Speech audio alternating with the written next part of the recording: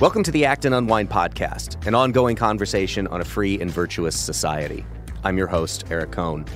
Thank you for listening, and I want to ask that if you're listening to us on our website, that you navigate to the show notes for this episode, where you will find a link to subscribe directly to Acton Line at Apple Podcasts, Google Podcasts, Spotify, or anywhere else where you listen to find podcasts.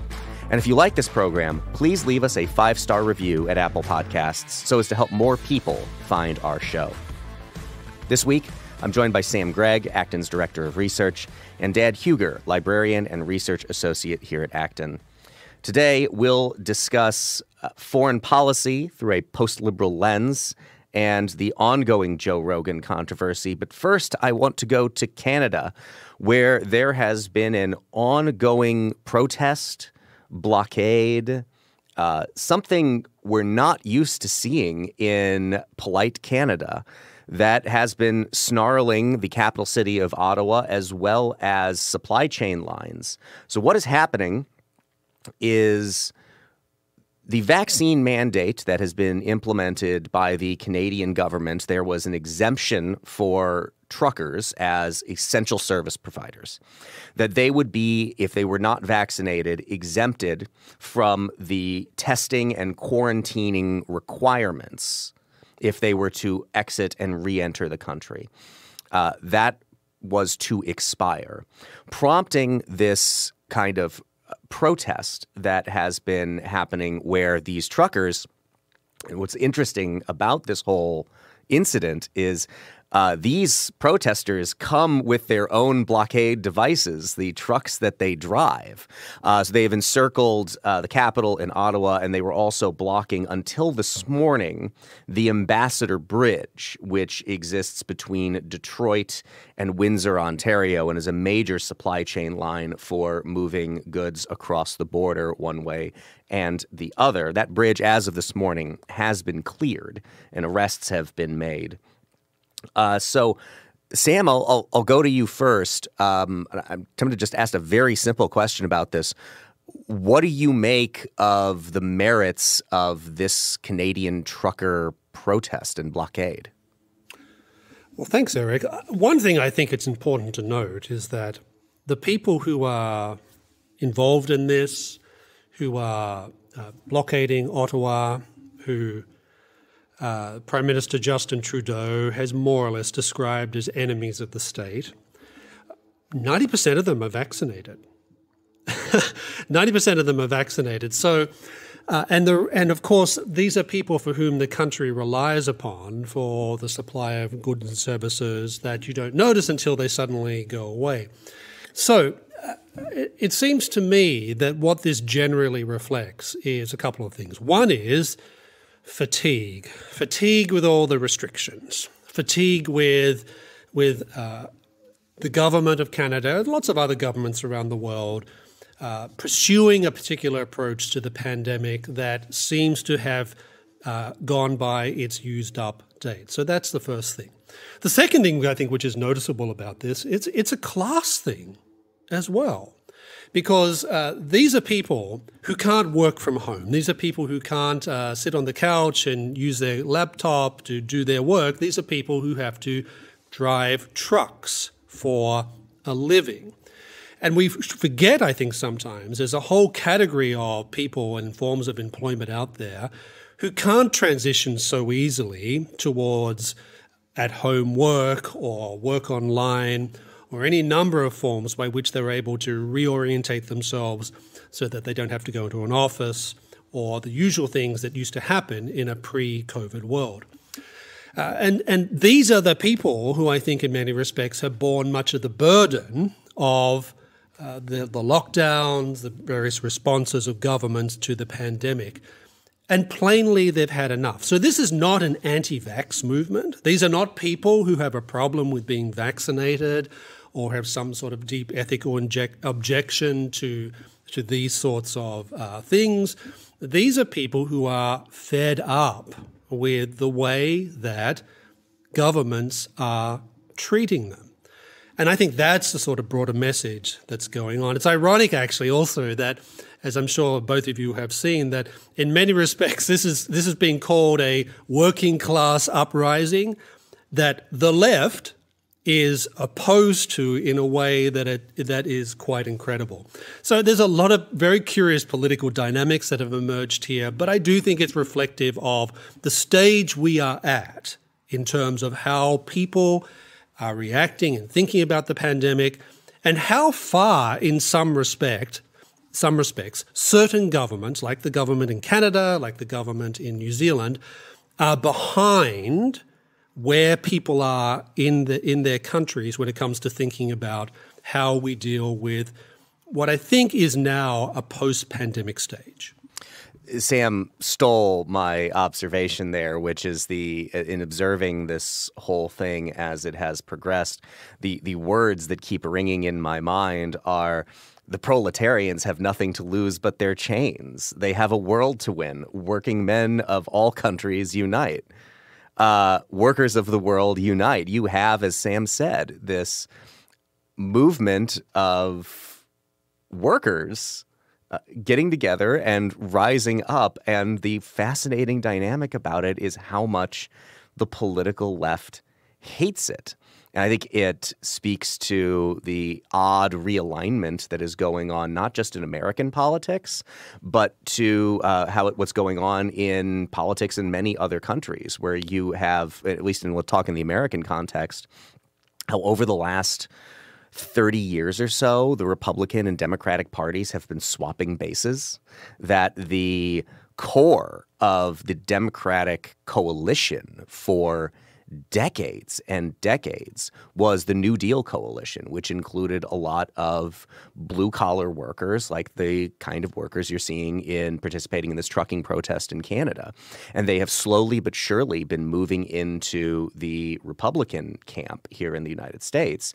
While similarly, you have the elite, higher educated, college educated, uh, wealthier, suburban, city dwelling uh, people moving into the Democratic camp. They've been trading bases over that time. But Sam's observation is a fascinating one that this is a workers' protest that the left is outraged about and that the right is incredibly enthusiastic about. So, Canada is a country that's at least made up of two nations, constitutionally defined. So, this, in, in deference to our Quebecois friends, this is Convoy de la Liberté. And um, this is another way. You know, Canadian political dynamics are just very different for all sorts of reasons. So you see that going on, and these these protests are no longer just trucker protests, and this is no longer about the vaccine mandate. A lot of these protesters have said that they're not going to leave until all of the COVID 19 restrictions and mandates have left. So there is um, there is a sense in which there's no easy off ramp for the government at this point uh, because things have escalated. And at this point, this has really started to affect, you know, thankfully, these have been largely nonviolent protests, but they have started to affect people's livelihoods. The shutdown of the Ambassador Bridge, which lasted nearly a week, caused auto plants in Michigan to close down temporarily due to shortages of parts and these sort of things. So this is a very serious situation, uh, not only for Canada but also for the United States and how this is resolved. Um, and I'm not sure, short of giving the protesters what they want, there's an easy off ramp for Prime Minister Trudeau. Yeah, I will. Uh, ignore the pun that you are either intentionally or unintentionally making there by talking about an off ramp for truckers. Uh, but yes, I, I, I, especially when you consider the rhetoric that Justin Trudeau has been using uh, over the last couple of weeks about all of this. Um, this goes back to the conversation that we were having last week or the week before, where you know, what is the reason? And let's just keep using off ramp as the way we're talking about this because A has been and B is just absolutely appropriate for this conversation. That you have had government officials here in the United States as well continue to blow by these off ramps, these opportunities that they have available to them to be responsive to the polis and get rid of a lot of these restrictions, which people, I think, very clearly are fed up with. I've, made this point numerous times that when you look at the two major uh, state elections that we have seen, we saw at the end of 2021 people have attempted to explain what happened in Virginia in a whole lot of different ways. It's it's CRT, it's um, you know, it, it, was school closures and all of that. It to me has always been overarching COVID policy, and it becomes a bit of a Rorschach that people can project what whatever they're angry about and all the things that they're angry about into this idea of education in Virginia, right? That's why it was education. But to me, it was fundamentally COVID policy. And the reason that is, is because when you look at the results in New Jersey, where Governor Phil Murphy almost loses to somebody nobody had any idea who he was Bob Ciattarelli. Nobody had any idea who this guy was. He was massively outspent by Phil Murphy. Is how do you explain the same big shift in New Jersey that nobody saw coming, other than the one thing that seems to be the major issue for people, which is COVID policy writ large, taking on different forms. Because there was no campaign about critical race theory or school closures or education specifically in New Jersey. And you're seeing Phil Murphy realize what he needs to do because he is one of the governors who's announced that he is rescinding as many of these restrictions. They're ending masking mandates. Um, I think the reason, as we've discussed, is that politicians just do not want to admit that they were wrong about a lot of this stuff or that they let it go on way too long. And as a result, you get this kind of resistance like you're seeing in Canada. And I think, again, the interesting thing about it, what, what makes this so interesting as a case to me, is that it's happening in Canada. And I got this uh, this observation, which came, uh, I got it from Jonah Goldberg, but it's in Seymour Martin Lipset's book, American Exceptionalism A Double Edged Sword, where the stock of people in Canada and the United States are not generally speaking, you go back to pre-revolutionary times, all that different from each other. There, there isn't huge cultural differences that existed at the period of time. You know, if you were uh, a, a, royalist or a loyalist, you probably went to Canada at the start of the revolution, and if you were, at, you know, for the revolution or at least okay with it, you stayed here. I'll give you this excerpt from Seymour Martin, Seymour Martin Lipset's American Exceptionalism. The point may be illustrated by examining the results when the American and Canadian governments tried to change the systems of measurement and weights to metric from the ancient and less logical system of miles, inches, pounds, and ounces. A quarter century ago, both countries told their citizens that in 15 years they must use only metric measurements, uh, but that both systems could be used until a given date. The Canadians, whose Tory monarchical history and structures have made for much greater respect for and reliance on the state, and who have lower per capita crime, deviance, and litigiousness rates than Americans, conformed to the decision of their leaders and now follow the metric system, as anyone who has driven in Canada is aware. Americans ignored the new policy and their highway signs still refer to miles, weights are in pounds and ounces, and temperature readings are in Fahrenheit. This is just not the kind of thing that you expect to see from Canadians. So before I comment at all on the tactics here, it is just interesting, Sam, that it, it is happening in Canada, um, which has been seemingly in support still. Um, their their government is not well supported. It is a minority government that's barely barely held together at this point. But by and large, the opinions of Canadian citizens are not really on the side of the truckers, and they've been generally okay with a lot of the COVID policy up till this point. Yes, and let's not forget that uh, Canada changed a great deal in the 1960s and 1970s uh, as a consequence of the long prime ministership of Pierre Trudeau, the father of the current Prime Minister, Justin Trudeau, who very much shifted the country towards what you might call a type of modern liberal view of the world. Canada was actually a, a, relatively conservative country prior to that, and then everything changed in the 1960s and 1970s with Pierre Trudeau at the federal level, and then you had the outbreak of a very left wing form of Quebec nationalism in, in Quebec, the province of Quebec. So Canada uh, is very much a country today that you would expect uh, to be fully on board with, let's call it, the modern liberal approach that has manifested itself over the past uh, two years with regard to the pandemic. Massive use of the state, massive use of the government uh, to try and stem the spread, etc. All that is what one would expect from Canada. But the fact that you have so many people now who are fed up and not afraid to to be quite impolite, if you like, and Canadians are famously polite people, so willing to be impolite and direct and saying to the government, we are not prepared to keep going on this way, tells us something, I think, about the degree of pandemic, or more, perhaps more accurately, degree of government response to pandemic uh, fatigue that is now permeating everywhere. And then you mentioned uh, the way the fact that a number of uh, the New Jersey governor, a, Democrat, of course, has lifted lots and lots of restrictions now. There's a number of Democrat governments, governors in the United States who have done this. And uh, I'm not hardly the first person to say this, but I suspect that reflects the fact that it's not the science that has changed. The polling has changed on some of these matters. And let's see what happens in Canada as a consequence of this. Justin Trudeau is not a particularly popular man. Uh, even in Canada himself, he's seen as a bit of a joke figure, the sort of the ultimate woke, the woke, the ultimate woke politician.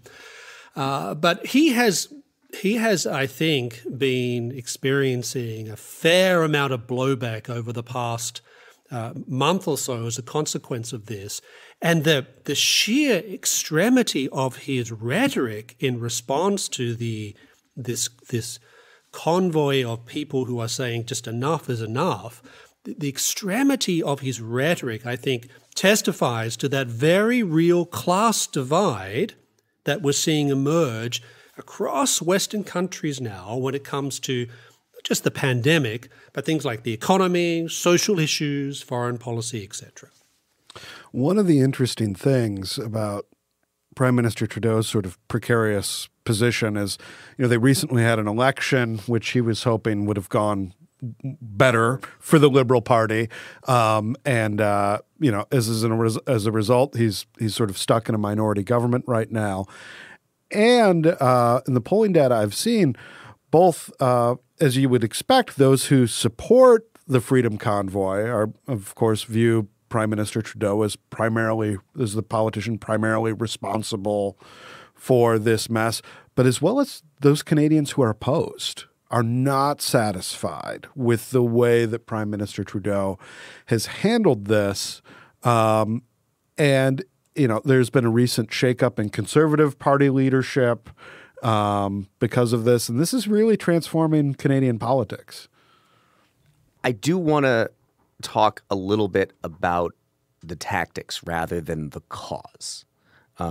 Because I think I would say that I, what this has revealed to me is certainly the limitations of the effectiveness of things like vaccine mandates, right? If we didn't know that already, I think it's pretty obvious now, uh, as Sam pointed out, that the vast majority of them are vaccinated. It is not about whether or not they are actually vaccinated. It is largely about what they are being required to do and what is being asked of them.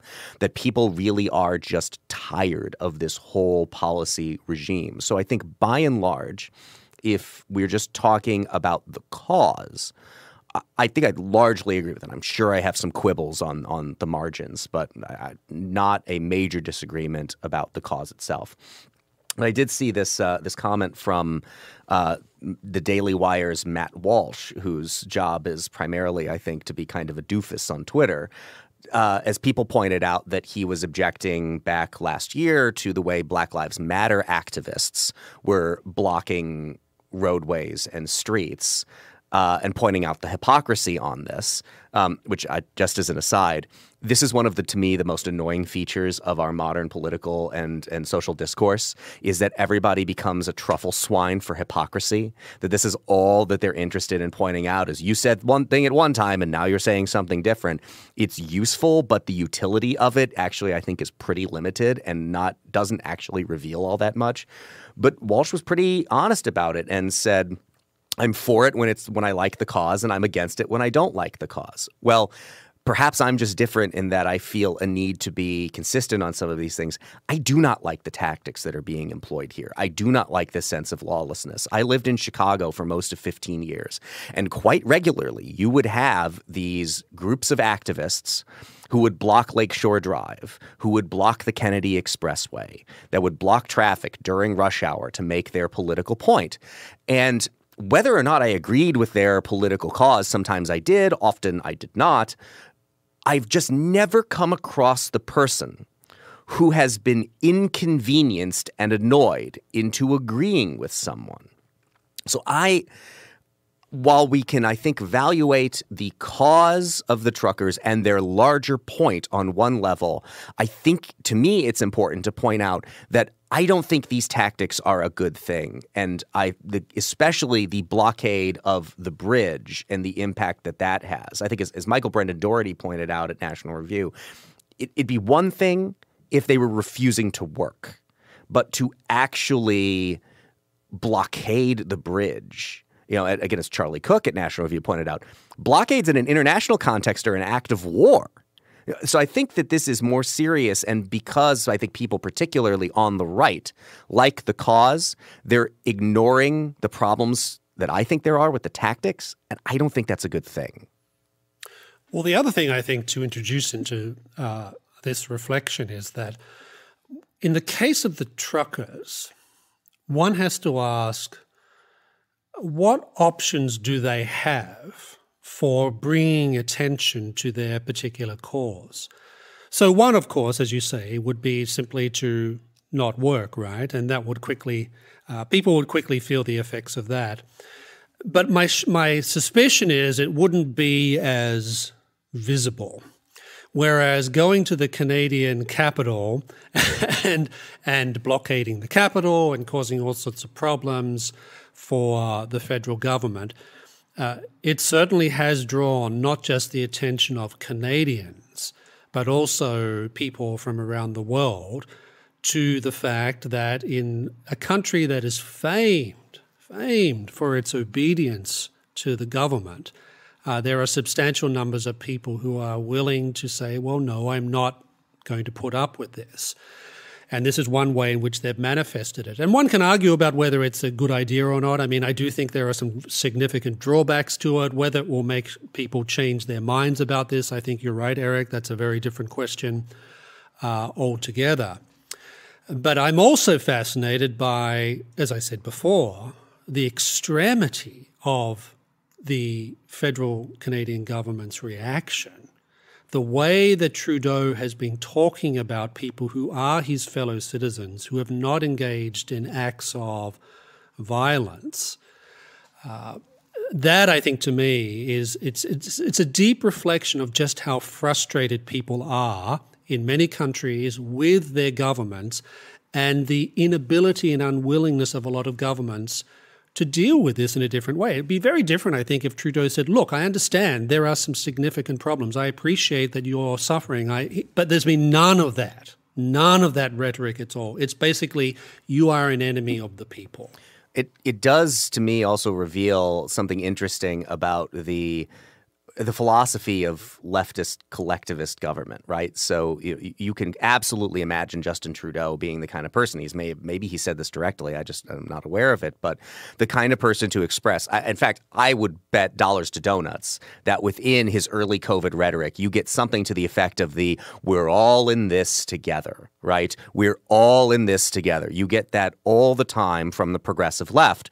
But there's also, as Sam points out, this kind of underlying we're all in this together, but you people are kind of icky, and we don't like icky people. It, it's something very bizarre that which I also think is true in the at least the American context now on this kind of new right, post liberal right. We'll get to some of the foreign policy of that in a moment here which is to say, you know, there's all that talk about the, you know, the real America that you get from those types, and you know, I, like I'm sorry to break it to you, but San Francisco is also the real America, and Chicago is also the real America. And because you don't want to live in those places, doesn't mean they're less authentically American than you know Duluth or uh, you know Tulsa or any of the other more rural places that these people like to hold up as the real authentic America. It's all America, but both sides seem to be making these kinds of, you know, one collectivist statements, but then immediately excluding somebody from the collective that they seem to have just laid out. Well, it's it's a fair it's you rightly point out this is a failure of social solidarity. And at, at the at the at the very root of a lot of this is that failure of solidarity. And when you don't have that solidarity and when you have these very disruptive sort of protest movements, even when they're nonviolent, those consequences can be devastating. Um, I think of uh, the Indian independence movement. Um, Gandhi was very famously asked, you know, do you expect the British to just walk out of India? And he said yes. And he successfully mobilized a nonviolent movement to essentially make that happen. One of the results of, of you know, one of those results is Indian independence. Another one of the results of that is Indian partition and what became, you know, conflict to this day between India and Pakistan that led to literally millions dead and displaced in the partition. So if you do not have that underlying social solidarity, and that's really the path forward here. The path forward here is is that move towards solidarity. Um, and that's a problem. That's that's not just a political problem. Um, and uh, no uh, no no protests or counter protests or assertions of bare government authority can solve that. Why don't we move now to our next topic? So, as both of you are aware, and I'm sure many of our listeners are aware, there has been uh, a buildup of tension between Russia and Ukraine. Uh, Vladimir Putin has positioned more and more troops on the border of Russia and Ukraine. Of course, you can go back uh, only a number of years ago for the annexation of Crimea by Russia. Uh, there are a lot of people who seem to think that Vladimir Putin is on the cusp of making a more aggressive move against uh, the entirety of the country of Ukraine, which is a sovereign country. And there's a lot of question about what the American response could, would, should be to that. In a piece that appeared on February 5th in the New York Times, uh, Sohrab Ahmari, Patrick Deneen, and Gladden Pappin uh, weighed in the headline of this piece is that hawks are standing in the way of a new Republican Party. Um, I a lot of interesting takeaways from this piece, but Sam, why don't I go to you first for what did you make of this? Well, I think there's a couple of things one can say. In the first place, there's no question, I think, that on the American right, there is a major rethinking of approaches to foreign policy that is going on. Uh, for a long time, particularly during the uh, George W. Bush administration, there was what is often called a neoconservative uh, political tinge to the conduct of foreign policy in the United States. Remember, you, I, I, do you remember uh, George W. Bush's second inaugural uh, presidential address, where he talked about the United States expanding freedom around the world, etc. And that, I think, was seen as a high watermark for that type of approach to foreign policy.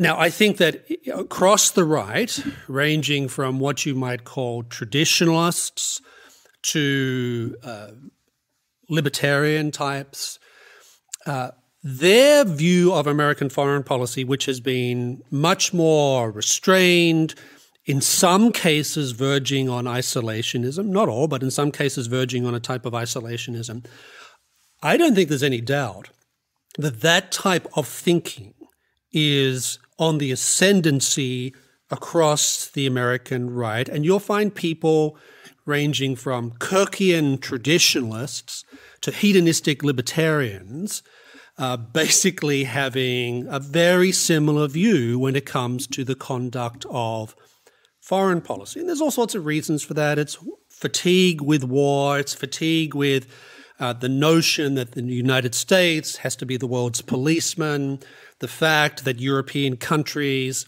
for a long time have refused to basically pony up financially when it comes to defense spending promises they made, a complaint that was made not by just the Trump administration, but also by the Obama administration and the George W. Bush administration. So that is a, this article, I think, reflects that changing dynamic. So that's I, just as a matter of fact, I think that is what is happening across significant sections of the American right today. But it also, I think, in the case of the three authors, it plays into their view of the United States as essentially moving in the direction of what you might call economic autarky or something like it. Because I'm sure you both notice that they talk about the need to reshore things for a type of movement towards uh, various forms of industrial policy, so it's not just a question in their mind of the United States taking a step back on the foreign foreign policy stage, especially when it comes to military intervention.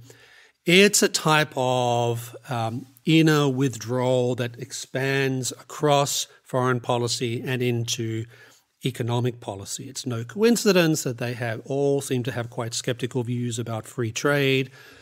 Uh, and at least in some cases, they have articulated positions in favor of industrial policy and other forms of government intervention, which they believe is necessary to shore up particular communities in the United States. And I think on the level of facts, there's also many, many problems with some of the economic ideas that were just beneath the surface of that, that particular article.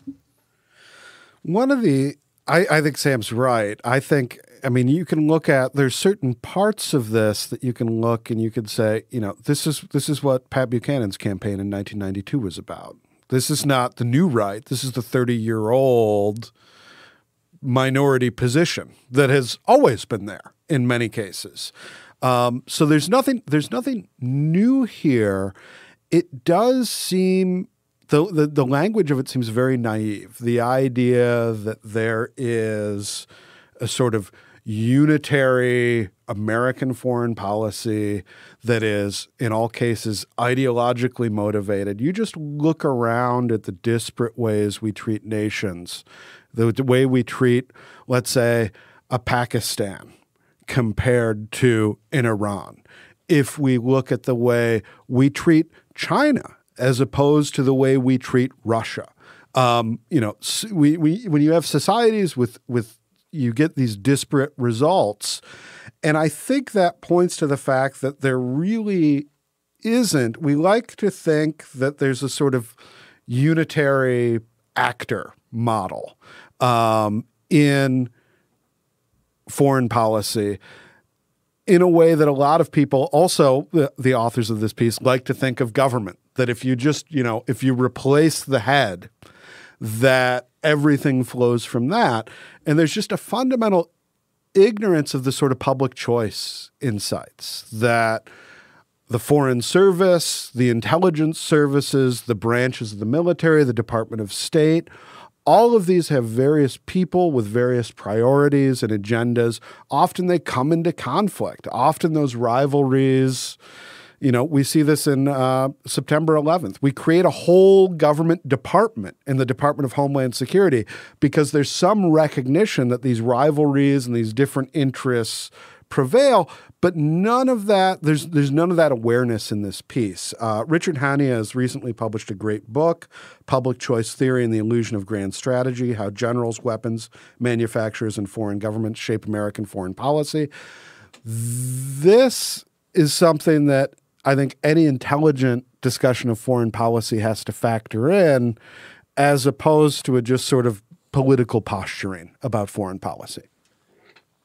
This piece to me is simultaneously, uh, on one count, banal and unremarkable, and on another count, incredibly radical. The banal part to me is exactly what you pointed out, but it goes back even further than that. You don't have to just, you can't just go back to Buchanan. You can go all the way back to Taft. There has been always a strain within the right um, philosophically, ideologically, coalitionally speaking, that has been skeptical of foreign entanglements. I mean, you can, you know, depending on how you want to parse these things out, you know, everybody who makes the argument for avoiding interventionism abroad traces it back to George Washington's farewell address and to avoid entangling alliances. So it, it's just unremarkable to me that uh, the the point that's being made here that know, okay, so there are people on the right who are arguing for um, more retrenchment, who are arguing for a less aggressive foreign policy, and and as Sam pointed out about you know the evolution of George W. Bush's term was incredible. In 2000, he's campaigning on having a more humble foreign policy, and then as the saying goes, events, my dear friend, events. 9/11 happens, and you get the second inaugural, and you get um, arguably a more aggressive foreign policy as a result of all of that. So that part to me is just not all that interesting. The part that is, oh, I, let me also say about that. Um, I think you get various versions of it too, and this actually will lead into the second part. Uh, I have I think I share a streak of a reticence to want to get involved in these things. I, you know, I've said for years um, I was looking for what what's the reason we continue to remain in Afghanistan, and it turns out the best reason that I think to argue to be there is that it would get worse if we left than it would if we stayed. Um, I think that turned out to be a pretty compelling reason. Um, I think we were wrong about the Iraq War, but I don't know how one could have come to a different conclusion based on the case that was being made at the time. So I think I've been. Uh, you know, chastened in some sense about that, and do want to kind of avoid these things. I think that there is um, also a more naive version of it that just kind of thinks, well, you know, things will just be fine if we withdraw from the world and the United States is not an active part of it. And, you know, power abhors a vacuum. Somebody will insert themselves. And I think the argument that one, particularly libertarians, have to encounter that changes libertarian foreign policy um, from to an actual position rather than what I think it generally operates as, which is the lack of a position on foreign policy questions, is you know well who's going to fill the vacuum if it's not the United States, and that gets to me the part of this piece that is radical, which is the contempt for the West and the United States that these authors seem to have, that they do not think it's a good thing for the United States or the Western alliance to be the ones who are in there and influencing these outcomes. Um, that it would be bad. Like the way that they point out, you know, all the bad things about America while simultaneously ignoring uh, the human rights abuses of China, ignoring the aggressive posture of Russia. And you can look specifically at these three individuals, Sohrab Ahmari in particular, who has said, you know, he is at peace with the idea of a China guiding the world. And uh, that is the kind of stuff that I find absolutely contemptible. And I think is what makes the real point that is being made in this piece, not the surface one about we should have um, a greater reticence to get involved in foreign affairs. Um, okay, so be it. That's an argument that's been made on the right for decades upon decades. It is this view that it is wrong for the United States and for the West that we don't have a better way of approaching things, that there is no moral upstandingness about it, I think is a contemptible position. And that seems to me to be what this piece is really about. I think also, Eric, on that point, if you read the magazine American Affairs, which uh, at least two of the authors of the New York Times piece have written in and been associated with in different ways, to the best of my recollection, there's a consistent drum of pro China pieces in that particular journal. And there is a type of uh, China-philic thinking that has emerged on in some pockets, I won't say widely, but some pockets of the American right, which curiously enough is matched by some of the pockets of similar sentiment on the left, as expressed by people like Jeffrey Sachs, for example. So that's one thing. Another thing is that uh, you probably notice that they refer to China as a civilizational entity, and um, I, I think that's part of that type of thinking that is permeating some of these circles. And look, there's no question that China is a different civilization. We shouldn't pretend that everyone is going to become just like the West. I think that sort of end of history and the last man thesis is thoroughly discredited now. And a lot of people on the right bought into that, remember, in the 1990s and early 2000s. But the other thing that is uh, ignored here in this discussion about when it mentions China is that there's no mention of the fact that it's run by a highly authoritarian regime, which is, you know, pretty much standard for most of the past 5,000 years of Chinese history. But this is a regime that's also communist, materialistic, engaged in rigorous repression of groups ranging from Christians to Uyghur Muslims, etc. And the fact that uh, some people are talking about China without mentioning this dimension of what the Chinese regime is actually like is at, at a minimum strange. Uh, very, very strange. Now, it's one thing to say, okay, well, that means we have to take a very aggressive stance, or no, this means we have to adopt a different set of policies. That's a different discussion. But the unwillingness to acknowledge just how bad the regime in China is and to make equivalencies between the United States and uh, a regime like China, I think in many respects is something that we should be generally worried about. Let's go to our final topic for today, which is uh, Dan's piece that appeared in the Detroit News last week. It is up on Acton's website at acton.org right now about the, yes, we're finally getting to the Joe Rogan controversy after studiously avoiding it uh, for the last couple of weeks. Uh, alas, it does not seem that it has uh, really died down all that much. We had uh, two versions of an attempt to cancel Joe Rogan. First, because he was a purveyor of misinformation about vaccines and about COVID. And then because of a compilation video. When that failed, um, then because of a compilation video of him using a racial slur, uh, that also seems to have failed. Uh, Dan, why don't you tell us what your piece was about? I mean, what my piece was about was more about the underlying anxiety. I, I go through, of course, and, and sort of set the table with what this controversy is about. But this is originally animated by, by particularly Neil Young's concern that Joe Rogan is spreading misinformation about the coronavirus and that this is leading to dire sort of public health consequences and that he felt that keeping his music on Spotify would make him sort of complicit in this. Um, there were several other musical artists that that joined this initial protest. But what I I've always wondered is does media work this way?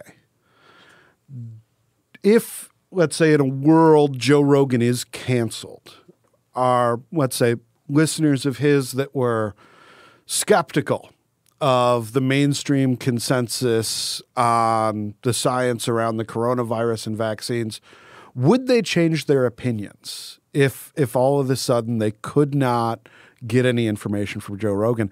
And I think that the social science data on this is is is just that that's not the case. That people's beliefs are formed out of their experience out of a whole factor of things, and that in fact people choose media that aligns with their beliefs more than that the media shapes their beliefs.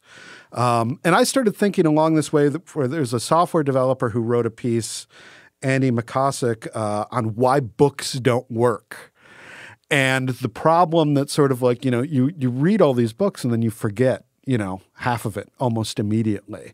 And, you know, his his idea is that you know this is a bad thing.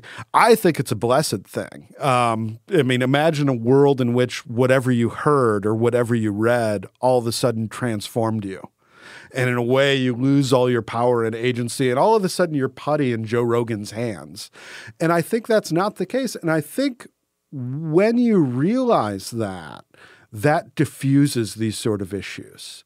And that becomes a conversation we can have where we're not looking at other people whose views are different and we just assume that they're brainwashed. And we can actually sort of listen to them. And that's the way that people, I think, really change is through dialogue and encounter and, and, those sorts of things. And that's sort of my, my more my more philosophical underpinnings of the essay. I get into the essay, you know, why people would be COVID hesitant uh, or, or COVID vaccine hesitant. One is that there are a lot of people that are just skeptical of modern medicine. And some of those people are just the kind of people that, you know, hey, if I get sick, I'm just going to walk it off or it's the kind of people that you know for instance are involved in you know natural or alternative medicine communities of, uh, that have, you know always existed in the United States another could be the fact that there was a lot of politicized skepticism of the COVID vaccine and the process under which it was approved. Kamala Harris was famously hesitant on the campaign trail to take what she saw as a Trump vaccine because President Trump was applying pressure to the FDA to get an approval, to get waivers. The Biden administration applied similar pressure to get boosters approved. So there's folks that are that are scared of the of the political process. Um, but also simultaneously very trusting of the regulatory process of the FDA, which I think has a terrible track record. And then there's folks that just see shifting public policy advice. You had people that were told, hey, if you get vaccinated, you don't have to mask. And now that is not so much the consensus. So, you know, there are all sorts of reasons that people might distrust sort of, you know, mainstream coronavirus recommendations. And they find in the Joe Rogan program some of those concerns that they may already have being brought to the table and being discussed in an open way.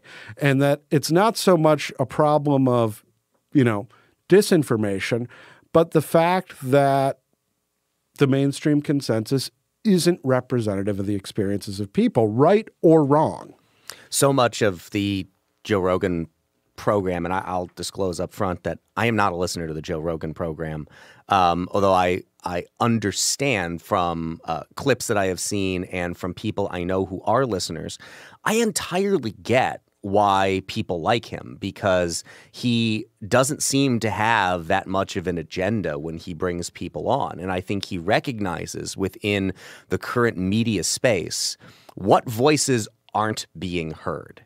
And he says, Oh, that's interesting. Maybe I should talk to the person whose voice isn't being heard. In a way, it's kind of counter programming to that consensus that you just talked about there. Um, I think you're absolutely right that it, there seems to be underlying this this belief that absent the existence of Joe Rogan and the Joe Rogan experience, all the people who listen to the, his program, if not for his existence, if not for the conversations he was having, they would all be exactly the kind of people that uh, those critical of Rogan want them to be, cheerleading the vaccine, happily masking up, happily doing all of the things that we discussed in the first segment of this program that we said are generally driving people crazy with the COVID regimes. Uh, that idea just seems idiotic to me. I, I just I don't know how you arrive at the point of view that you know if not if but for this one person, uh, everything would just be absolutely hunky dory. And the idea, and this has just gotten more and more to be a burr under my saddle, of this concern about misinformation. On one level, completely agree. Um, I think we should be concerned about purveyors of misinformation, um, whether it is out of ignorance or malice. I think there are certainly actors out there in uh, in the media space who are purveyors of misinformation with malice. Alex Jones comes to mind, but uh, Rogan does seem to be engaged in some kind of a good faith exploration of ideas. And you know what? We're human beings. We're fallible. We're going to get things wrong. We're going to obsess on one part to the exclusion of other things that probably should be in there contextualizing our view on it. And all I could think of is um, a lot of the people who are so critical of Joe Rogan right now as a purveyor of misinformation how many of them do you think were regular, dedicated, nightly watchers of The Daily Show?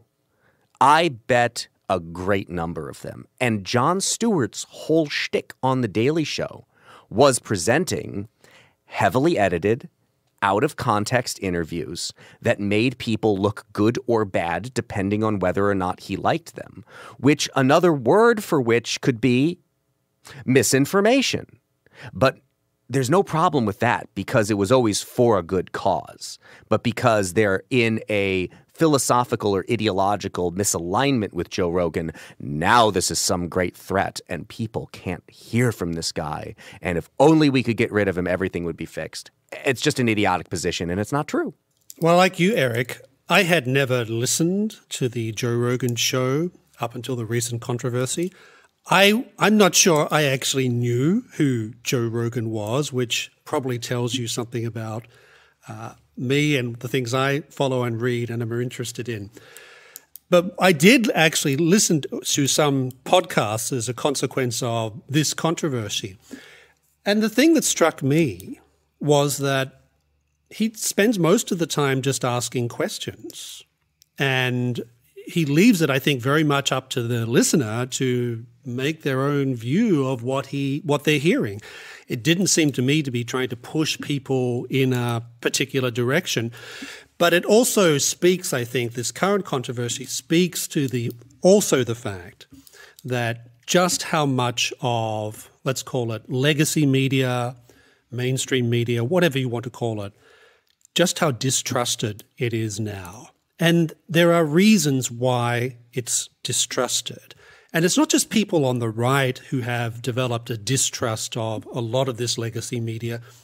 You can find critical commentary on the left as well. Liberals saying things like, well, I might agree with what's being said, but it's clear there's no substantive debate going on in the context of these particular settings. Yeah, the Ch- Chomskyite manufacturing consent and all of that. Yeah, the, right, the critiques right. of corporate media from the left have always been there. Right, right, right. And so uh, what we're finding, I think, is that this disillusionment and distrust of mainstream, let's call it MSM, whatever one, how one wants to describe these institutions, they're just not trusted. And one would think that some of these institutions – if they're interested in being media organizations that are engaged in serious discussion of complicated questions, whether it's trade, whether it's foreign policy, whether it's pandemics or vaccines, if they were interested in promoting serious reflection upon these issues, you'd think that they would be asking themselves some serious questions about why they are, why, why journalists, for example, uh, in many of these ratings of professions, uh, are right up there with bank robbers when it comes to their view of how people view particular professions. But they're not. They're not engaging, as far as I can tell, in any deep analysis of why this has become the case. And it may be that they don't think that that's their role anymore. It, it seem it does seem to me that a lot of the Joe Rogan phenomenon and a lot of the alternative media phenomenon is a answer to the epistemological certainty of the media in its uh, own objectiveness over the last uh, I mean, you could go back 60, 70 years and all this. Walter Cronkite signing off famously his news broadcast with, and that's the way it is, as if you know, the voice of God has just spoken and this is the unadulterated truth. Whereas American media has always been a little bizarre, at least kind of post, um, you know, uh, well, within the 20th century in that it approaches this kind of journalistic ethics, Columbia Journalism School objective reporting approach to things, where if you look at, you know, in the United Kingdom, newspapers are incredibly partisan. I mean, the the the Times is a Tory, uh, gives a Tory opinion. The Guardian is Bolshevik, and you have a various um, uh, other positions in between there.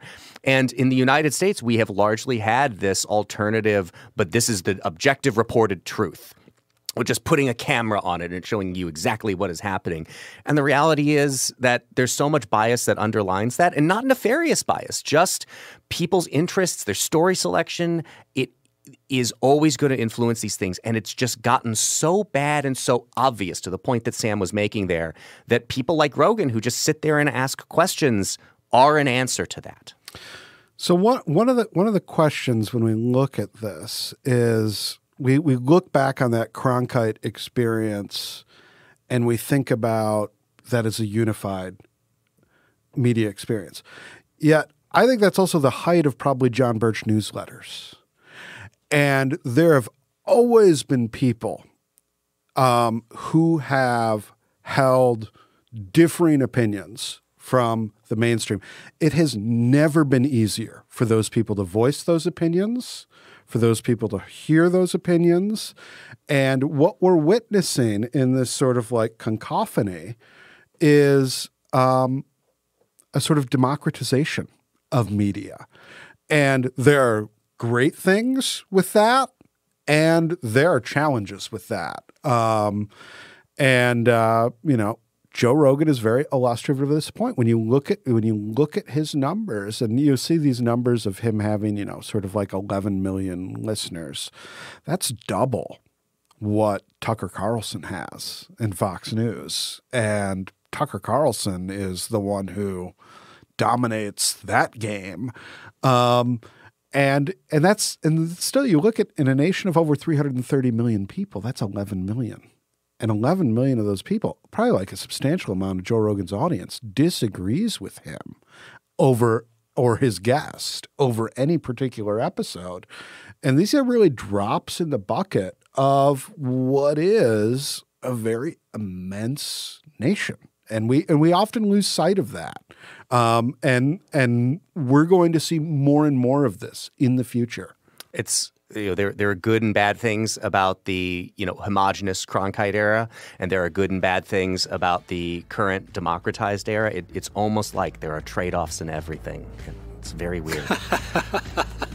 Let's call it a wrap there. Thank you for listening to Acton Unwind. If you're listening to this podcast on our website, please look in the show notes where you will find a link that you can subscribe directly to Acton Unwind or just search Acton Unwind on your favorite podcast app. Also, please rate and review us on Apple Podcasts, five star reviews only, so that more people can find this program. Thanks to Sam, thanks to Dan. For the Acton Institute, this is Eric Kohn. We'll see you next week.